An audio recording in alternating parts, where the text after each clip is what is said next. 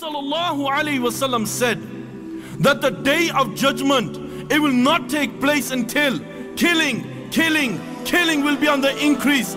Isn't this the case today? He said that the day of judgment it will not take place until you will see tornadoes will be on the increase.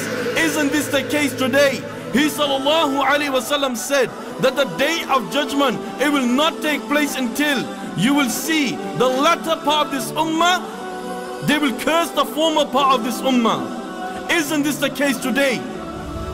He sallallahu alaihi wasallam said that the day of judgment will not take place until children will be filled with rage. Isn't this the case today?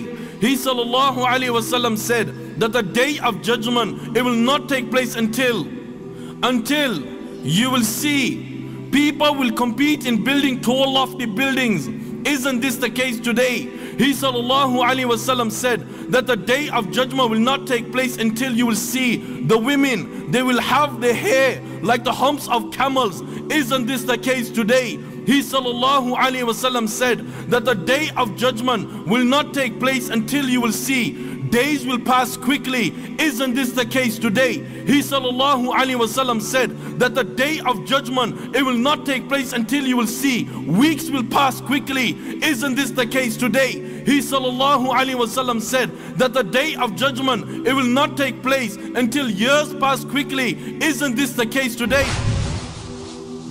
The day judgment will not take place until the fitna of Masih and Dajjal.